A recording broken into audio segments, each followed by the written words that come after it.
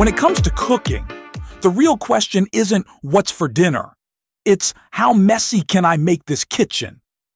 This age old debate, one that's divided families, sparked heated arguments among friends, and left couples silently fuming over towers of crusty dishes, is about to get real.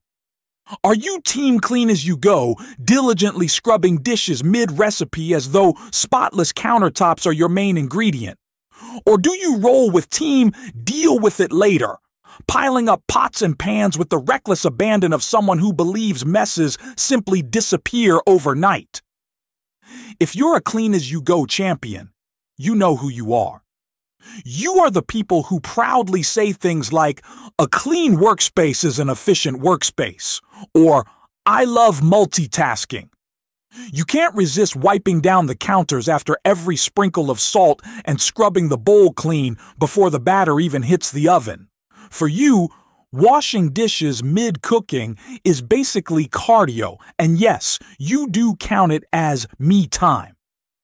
While the food's cooking, you're standing there, spatula in one hand, sponge in the other, balancing like a kitchen acrobat. Why just wait around and watch water boil when you could be rinsing your measuring cups? The sauce hasn't even simmered, and you're already finishing off round two with the sink. For some reason, you live for that everything's done, and there's no mess left moment as you set the perfectly clean pan back on its pristine stovetop.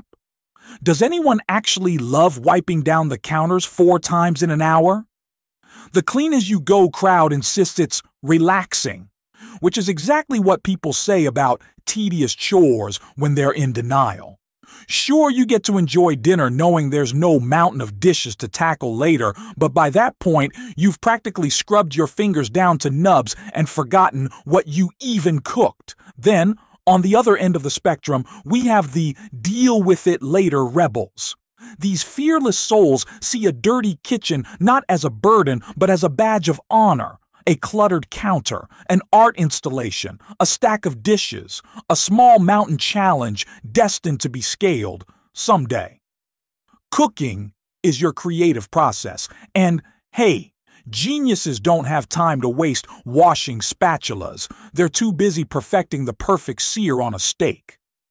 This team finds joy in the aftermath of a meal, letting the dishes soak while they savor their culinary masterpiece. Spoiler alert. They're not soaking. They're fossilizing. And isn't there something oddly satisfying about ignoring that pile in the sink for just a little longer? The dishes will still be there tomorrow, and really, what's the hurry? Dinner is about enjoyment, relaxation, and pretending the chaos you left in the kitchen will magically resolve itself by morning. To you, the clean as you go people are the villains of the kitchen, the neat freaks who make you feel guilty for just living your best, messiest life. Who decided cleaning is supposed to be fun anyway?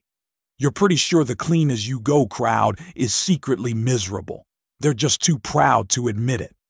In a perfect world, there's a mythical third option the balanced cook.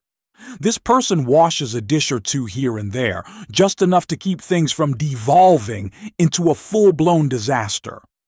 The balanced cook believes in harmony, maintaining a reasonable amount of mess while cooking, and then doing a manageable cleanup at the end. This person is a legend, a creature of myth, rarely seen and widely envied. But let's be honest. You're either scrubbing the pan as soon as it's empty or letting it sit for days. No one actually exists in that delicate middle ground. Now, here's where things get tricky. What if a clean as you go and a deal with it later share a kitchen? It's chaos, that's what. The clean as you go will passive aggressively wash the dishes the deal with it later left behind, muttering about how it would be nice if someone appreciated cleanliness around here. Meanwhile, deal with it later will stroll in, casually move a dish off the drying rack, the horror, and proceed to add yet another unwashed pan to the sink with the confidence of someone who knows they're driving someone else nuts. Eventually, This dynamic turns into a silent battle of wills, and no one wins. Team Clean As You Go may revel in their spotless kitchens, but they secretly resent every second of lost relaxation time they've spent scrubbing saucepans mid simmer. Team Deal with It Later? They're fine now, but wait until they have to chisel dried pasta sauce off a pot they swore they'd get to tomorrow. In the end, one thing is clear. No one really enjoys the cleanup part of cooking. We're all just trying to make it through meal prep without losing our minds. So the next time you find yourself wiping down counters compulsively or looking the other way as dirty dishes pile up, just remember you're not alone.